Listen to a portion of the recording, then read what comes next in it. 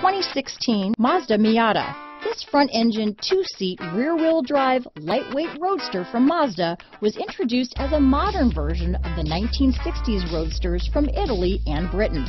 Although filled with modern amenities and safety equipment, the Miata is a great two-seater for cruising around town or on a fun road trip, just like its overseas counterparts. This vehicle has less than 9,000 miles.